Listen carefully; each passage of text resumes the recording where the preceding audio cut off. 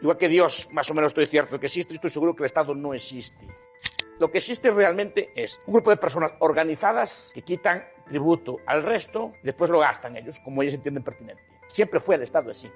Que se le da a Dios en una misa es un culto de la tría, el culto que se le da a ese ente imaginario es culto también de la tría. Es decir, hay que ponerse en pie cuando suena el himno, hay que hacer una serie de gestos o besar banderas o cosas por el estilo, porque justamente son sagradas. Pero eso es un proceso lento de construcción ideológica a través del sistema educativo, a través de los medios de comunicación, para construir ese ente abstracto al cual le pagamos tributos. Por tanto, la primera pregunta es, ¿existe el Estado así entendido como algo abstracto? ¿Existe, por ejemplo, algo llamado España, algo llamado Guatemala? No. Efectos reales, no. Es una invención.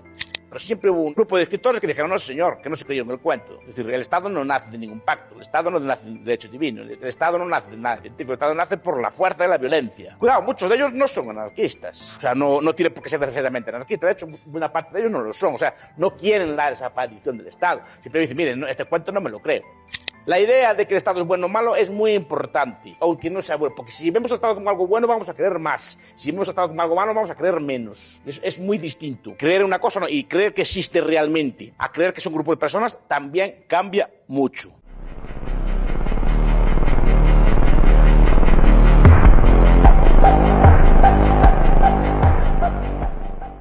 Tengo tres temas aquí para empezar el primer día.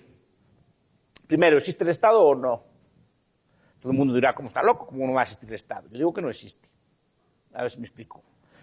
No existe fuera de las personas que lo componen. Es decir, el Estado está compuesto de personas, no hay ningún Estado. Es decir, de la misma forma que si ustedes van al Vaticano, por ejemplo, en el Vaticano ven allí unos edificios muy grandes y ven unas edificaciones y gente así más o menos uniformada y vestida así de, con túnicas y ropa sacerdotal y tal. ¿Qué es esto? Decimos, estos son los representantes de Dios en la tierra. A ver si me explico. Ven allí todo un aparato. Pero vamos a ver. En el Estado pasa algo semejante. Vemos edificios, cárceles, cuarteles, eh, juzgados, escuelas, etc. ¿Y qué es todo esto? Pues son los representantes del Estado en la tierra. A ver si me explico. Que yo sepa, yo soy creyente, pero digo, pero yo no conozco ningún creyente que derive la existencia de Dios de que haya todos esos edificios, esas cosas, ¿no? Es decir, los argumentos teológicos a favor de Dios o en contra de Dios son pues, el argumento Calam, el argumento ontológico, son argumentos filosóficos para discutir si Dios existe o no. Pero no que haya edificios y gente que diga que es el representante en la tierra, eso deriva en que haya Dios, no si me explico. O sea, yo creo en él, pero por otros argumentos, no, por, no porque haya edificios y gente que diga que representa a Dios en la tierra. Lo mismo pasa con, con lo que llaman Estado. Es decir, hay edificios, hay cárceles, hay cuarteles, hay, hay todo tipo de edificios y gente uniformada y gente, armada y tal que dice que se representan a Dios en la tierra. Pues, bien, igual que Dios, más o menos estoy cierto que existe, estoy seguro que el Estado no existe. ¿En qué sentido? Que se representa a través de símbolos es una, es una representación ficticia colectiva. Y, no, y, estoy hablando del Estado moderno, no, no, del, no, del, poder político, que es otro aspecto que después em, enfatizaremos. Es decir, el Estado, es decir, hoy en día nadie le paga impuestos a Otto Molina. Nadie quiere pagar impuestos a Otto Molina, nadie le pagaría impuestos a a, Valdizón, a Colón, a Sandra Torres, a Ozuri Ríos o cualquiera de los candidatos. Es decir, gente se los paga a Guatemala Pero Guatemala, yo nunca vi a Guatemala, igual que nunca vi a España, nunca vi a Galicia, no tengo ninguna foto de ellos, no tengo un retrato de cómo son. Entonces, ¿cómo se representan? Con símbolos. Símbolos básicamente son trozos de tela pintado que cada uno interpreta esos trozos de tela como algo sagrado, igual que las religiones, pues, trozos de madera o así, pues también dan valor simbólico. Las religiones le dan a los trozos de tela pues, pues, es la bandera, si son unos colores la bandera de España, si otros colores la bandera de Galicia, si otros colores la bandera de Guatemala, si tiene otros dibujos y tal. representan con algún tipo de animal, casi siempre, por unos estados, casi siempre, menos en Guatemala, creo que es una excepción, o Venezuela, casi siempre animales de presa. Es decir, siempre son lobos, perdón, son leones, perros así tal, osos o águilas, son animales de presa para representar el, para representar el Estado, o lo representan con músicas, con partituras. Y, y partituras en algunos casos acompañadas de algún tipo de poema o frase que, que, hay que cantar y recitar, en ese tipo de cosas. Es la forma de visualizar el Estado. Después, también con algunos países ponen símbolos, Marián, eh, eh, Tío Sam, eh, eh, John Bull, bueno, ponen así símbolos, animales como de, de cartulina para, para, dibujar así, el, para representar y personalizar algo inexistente como es el Estado.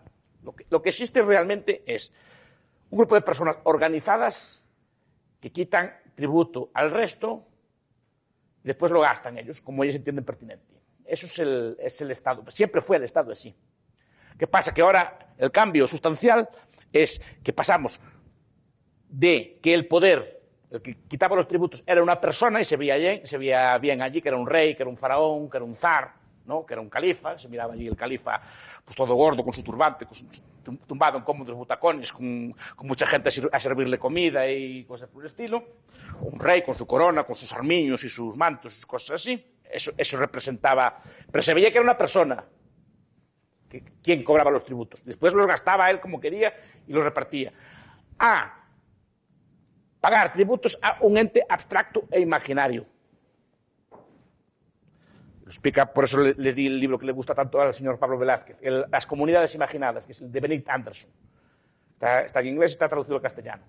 Cómo se construye un ente imaginario, llamado Estado al cual le pagamos tributos. ¿Por qué le pagamos tributos al ente imaginario? Porque es más fácil pagar de tributos al ente imaginario que pagar solo a una persona. Cuando hay una persona, sale lo que llamamos conciencia de clase. Es decir, que pagamos tributos, de acuerdo, pero no más allá de un punto porque hay una revuelta fiscal, porque sabemos que va para una persona y vemos a la persona allí toda gorda, toda opulenta, toda quitando nuestro dinero y gastándolo en palacios, en grandes comilonas, en grandes fiestas y grandes cosas. Entonces la gente se resiste a pagar. Es mucho más hábil para pagar impuestos crear algo abstracto, algo imaginario.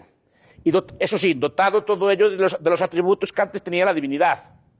Es decir, todos los, los como decíamos antes, el culto que se le da a Dios en una misa es un culto de la tría, el culto que se le da a ese ente imaginario es culto también de la tría. Es decir, hay que ponerse en pie cuando suena el himno, hay que, hay que ponerse en, en hay que, hacer una serie de gestos o besar banderas o cosas por el estilo, porque supuestamente son sagradas. Pero eso es un, proceso lento de construcción ideológica a través del sistema educativo, a través de los medios de comunicación, para construir ese ente abstracto al cual le pagamos tributos. Por tanto, la pr primera pregunta es, ¿existe el Estado así entendido como algo abstracto? ¿Existe, por ejemplo, algo llamado España, algo llamado eh, Guatemala? No. Efectos reales, no. Es una invención que todos tenemos en la cabeza, obviamente. Al final, cuando nos definimos, nos definimos siempre por algo. A mí, primero que preguntan es dónde es usted, pues ser español.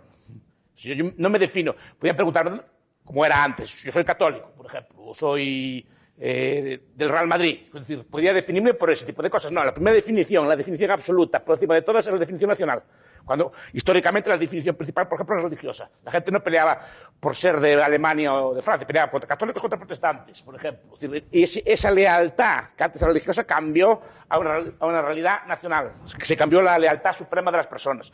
Y eso se construye, como explica Anderson, a través de un proceso complejo y sofisticado de creación de identidades. Eh, escuela, durante muchos años. Miren la escuela.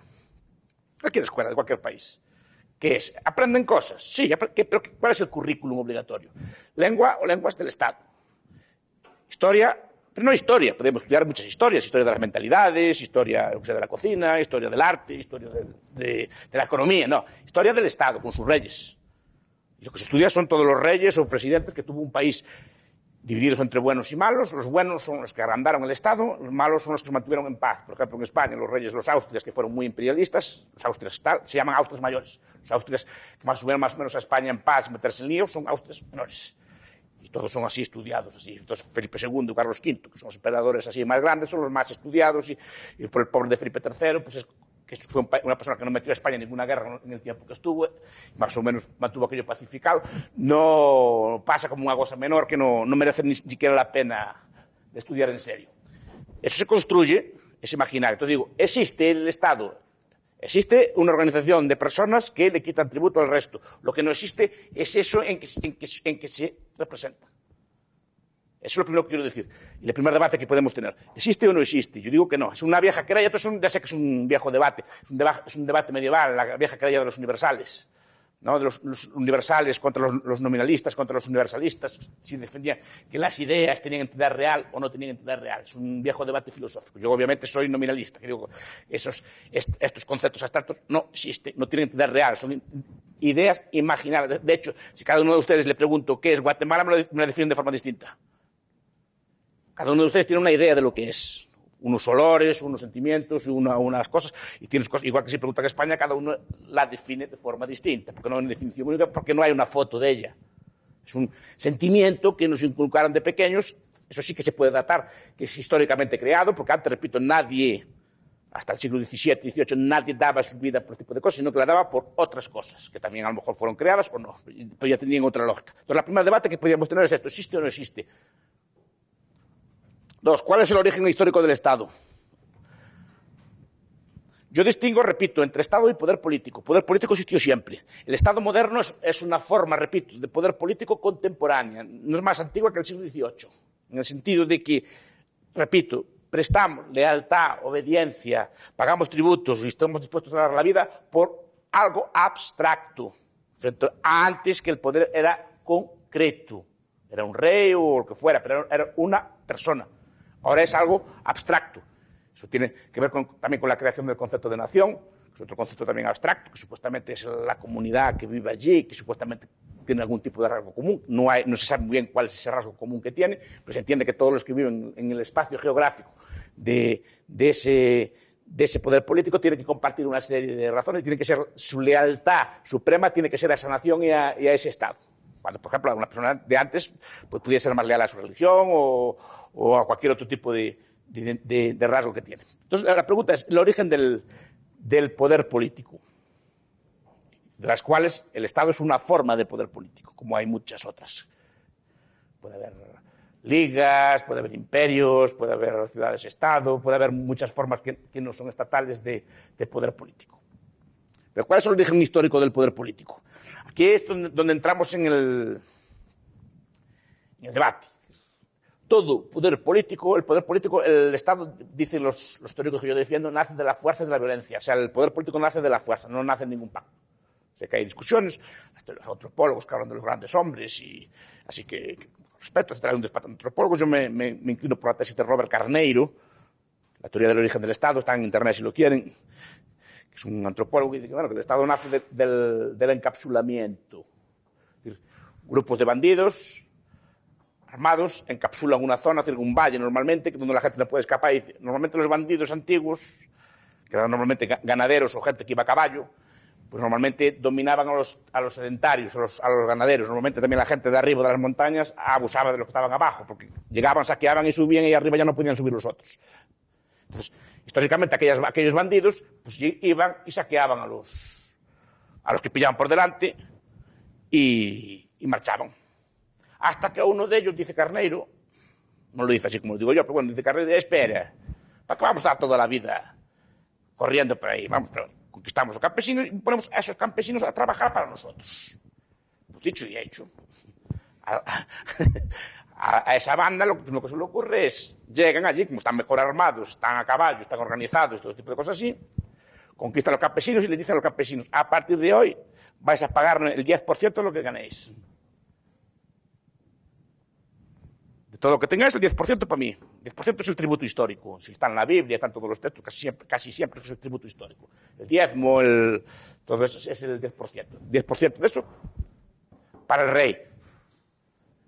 El rey después distribuye entre su camarilla y sus soldados, que los tiene bien mantenidos, y dice, bueno, ahora vivimos como reyes, vivimos aquí como, como señores, que ellos trabajan, nosotros comemos aquí, disfrutamos de grandes palacios, de la mejor comida, escogemos las mejores mujeres, etc. Es, es la, historia de... Es el proceso histórico de, de, creación de poder político, es decir, de la sociedad sin Estado, que eso sí que demuestran los otros pueblos, casi todos, hasta el Estado, el poder político es relativamente reciente, también debe tener unos miles de años.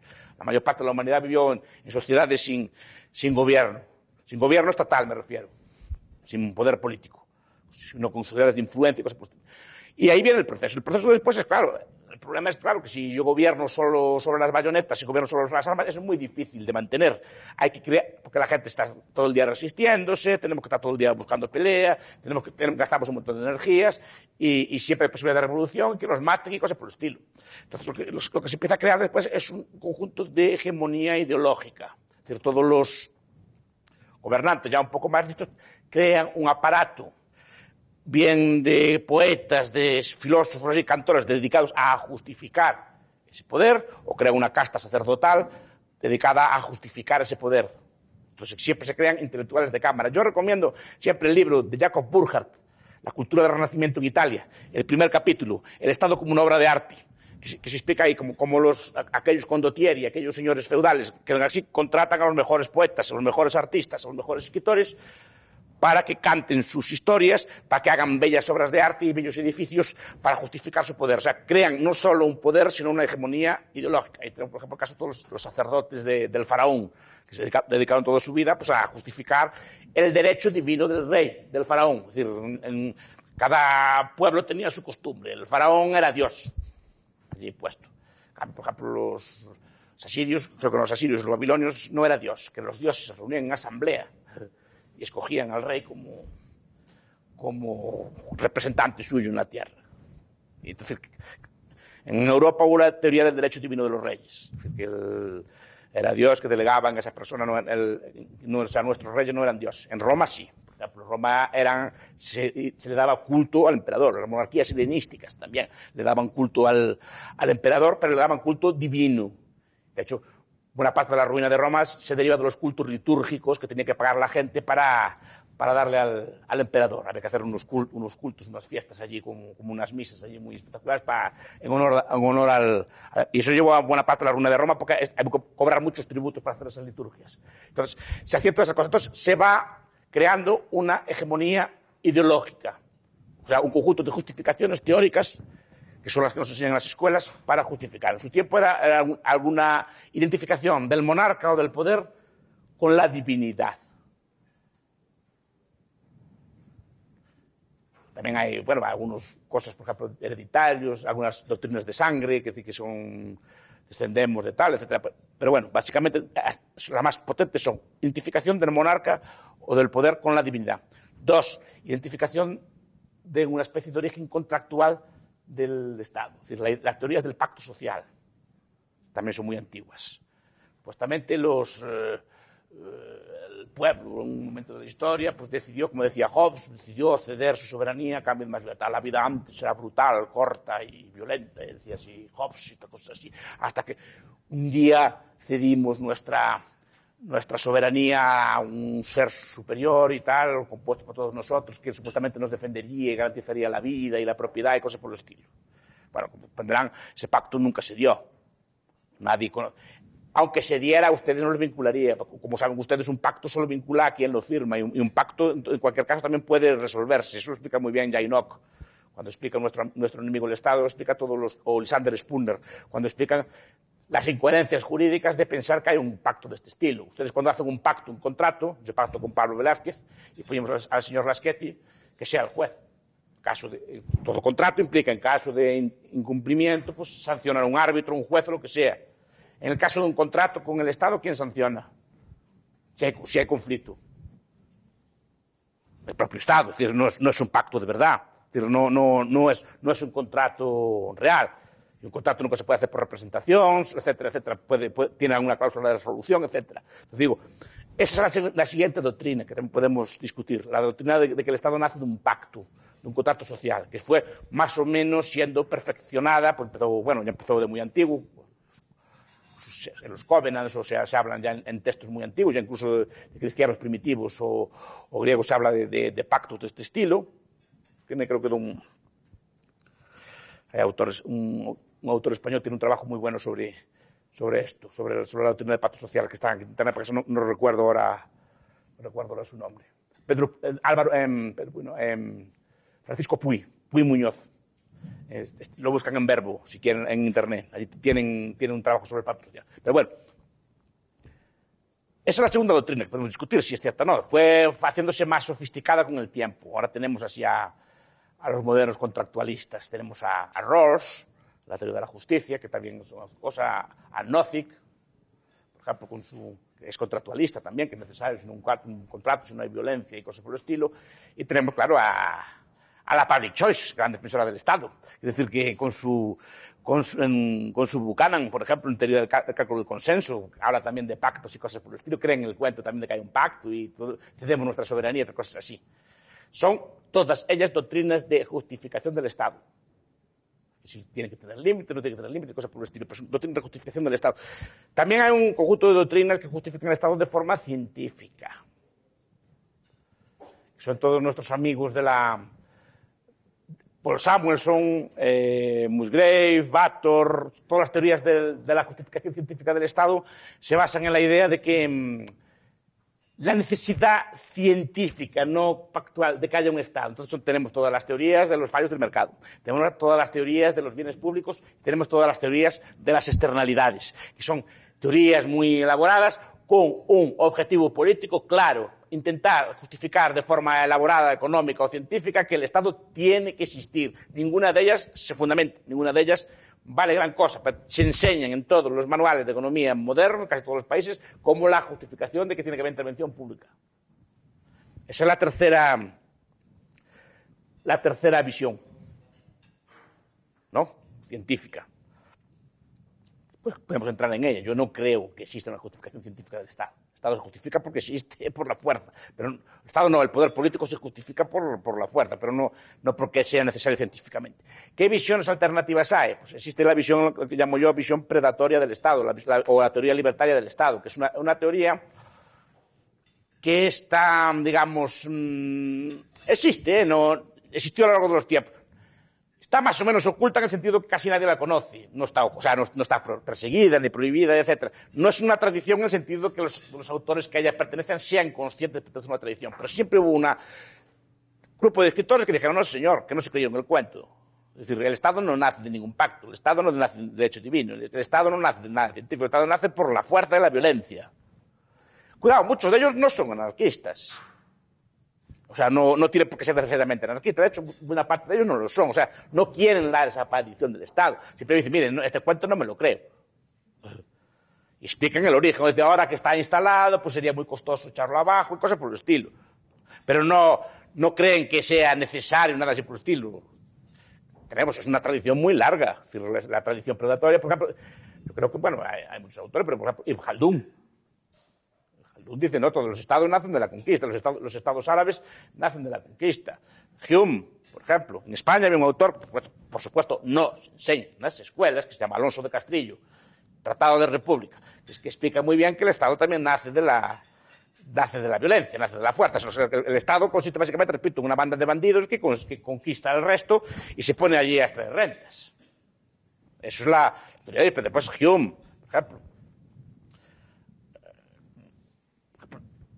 Constant, que es un liberal clásico, sobre el espíritu de conquista, explica algo semejante. Todos los liberales franceses, de Thierry, por ejemplo, de Estudio de Tracy, de Thierry, eran todos, lo explica muy bien Ralph Raico, eran todos, en el sentido, mira, el, el Estado es una clase que se impone a la otra, es decir, es un grupo de personas que, que le quitan recursos a los otros. Tenemos a un grande, un gran, grandísimo conservador, grandísimo malo, pero era, fue vicepresidente de los Estados Unidos.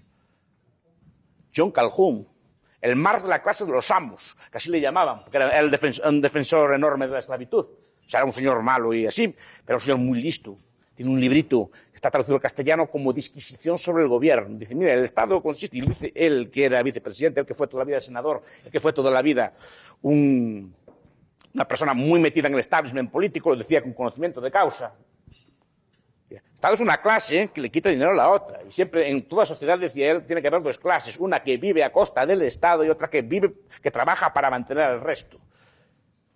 Lo explica, muy claramente. Lo explica muy claramente, por ejemplo, Charles Oppenheimer, no, Franz Oppenheimer, mejor dicho, en un libro que se llama El Estado, está traducido hace poco, diciendo que en la sociedad siempre hay dos tipos de medios, los medios económicos y los medios políticos. Los medios económicos son aquellos que derivan del intercambio libre de las partes y, por lo tanto, son mutuamente beneficiosos. todo el comercio, todo el intercambio, toda la, economía del, amor, que le llama Kenneth Wilding, o sea, la, economía de los padres a los hijos, son pactos voluntarios. Y hay medios políticos. Medios políticos son aquellos en los que una parte se impone sobre la otra parte por la fuerza. Lo distingue así, y lo decía Frank Oppenheimer, por ejemplo, que era un, era un socialista. Y defendía el socialismo, pero decía que el Estado era eso. Lo dice, por ejemplo, este, ¿cómo se llama? Ah, ya voy viejo. Este, este autor se llama Freedom and Domination, Rousseau, Alexander Rousseau. Explica, vamos a ver. Toda sociedad se basa en la superestratificación. Superestratificación es un concepto que dice que los estados o el poder político nace de la superestratificación. Esto es un grupo de personas que se imponen sobre otras. Y va contando la historia. Dice, ¿qué eran los árabes cuando llegan a España en 1711? Pues una banda de bandidos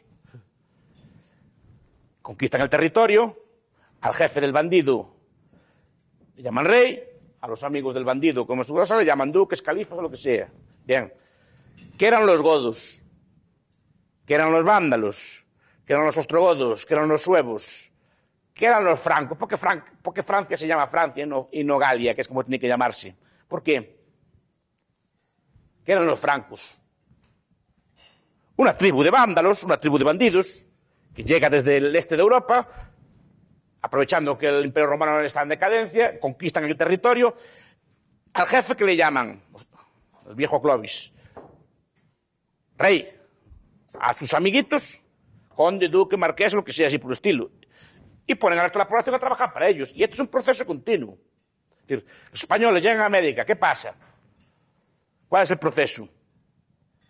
Banda de bandidos, conquistan territorios y ponen ellos de jefes. básicamente el proceso es siempre el mismo. Colonialismo es, común a todos los pueblos de la tierra. No hay uno que no, sea excepción. Entonces digo, esta es la teoría predatoria del Estado. Entonces la teoría predatoria del Estado dice, el Estado nace de la violencia. Usa esa violencia para extraer recursos. Ahora la gente fina, así como hace Moglu, le llama élites extractivas.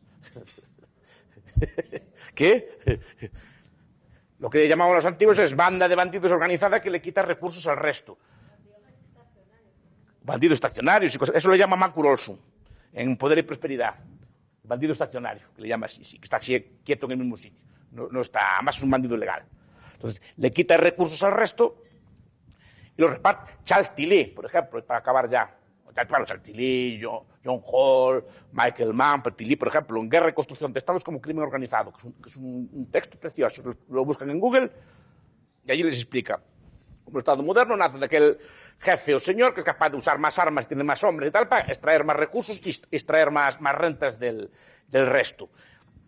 Esta es la teoría libertaria del Estado, que tiene, tiene una serie de hombres, por ejemplo, bueno, Rothbard la, la, aplica, David Osterfeld la aplica, es, la teoría, digamos, libertaria y difiere, que ya veremos en las próximas sesiones, de la teoría liberal. La teoría liberal, en cambio, da, una visión Hayek, Mises y así, defienden el Estado como algo bonito, bueno, así, siempre y cuando esté circunscrito una serie de cosas. Si me explico. Y esa es la diferencia entre liberal y libertario. El liberal ve el Estado como algo existente y algo bueno. Y, le da un origen inmaculado, normalmente contractualista. El libertario, aunque no sea anarquista, o sea, no tiene por qué ser anarquista, no tiene por qué querer meterse en los costes que puedes suponer abolir el Estado. Pero reconoce de dónde viene y no se cree el cuento. Cuidado. Y aquí entra ya la conclusión de lo que quiero decir. La idea de que el Estado es bueno o malo es muy importante. Aunque no, aunque no sea bueno. Porque si vemos el Estado como algo bueno, vamos a creer más. Si vemos el Estado como algo malo, vamos a creer menos. Y eso es muy distinto. Creer una cosa y creer que existe realmente a creer que es un grupo de personas también cambia mucho. De hecho, el gran invento moderno son es, la, extensión del Estado como algo abstracto y la extensión de que supuestamente el Estado somos todos. Eso disminuye mucho la conflictividad interna. Si se fija en la historia de la humanidad, era una, guerra, una historia de revueltas fiscales. Era una, cualquier, las, las comunidades de Castilla. Es una, es una guerra fiscal simplemente los ciudadanos de determinadas ciudades se niegan a pagarle tributo al rey, porque no no quieren pagar más de lo que están pagando, y se rebelan, y estaban siempre rebelándose. Cambio ahora no, somos todos, nos lo pagamos a nosotros mismos, nosotros mismos los elegimos, nosotros mismos lo pusimos, etc. Cuando no es así.